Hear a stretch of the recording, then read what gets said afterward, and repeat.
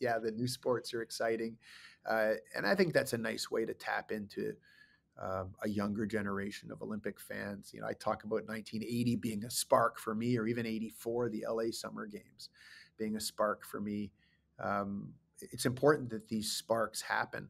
Yeah, I, I believe, uh, and that somebody in my seat 50 years from now will talk about it. Yeah, exactly. Talk about Paris 2024. Yes.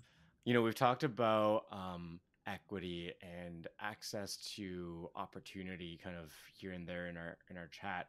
How does the COC um, work to really ensure that athletes from diverse backgrounds and communities and you know resource levels have the opportunity to really succeed on an international stage?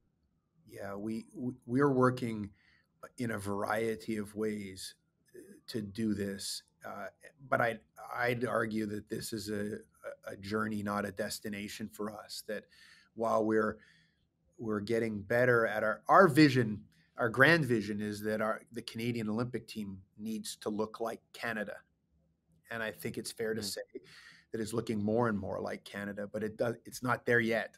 Um, and so through grants. So we have things called OLY grants, where a, a number of, in many cases, retired athletes, but Olympians are are creating programs to get more diversity into the sports system, both in the athlete and the coaching ranks.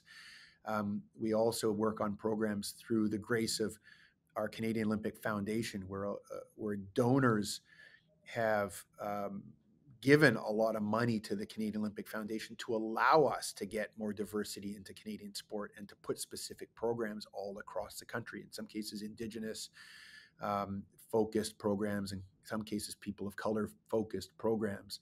All of this is important.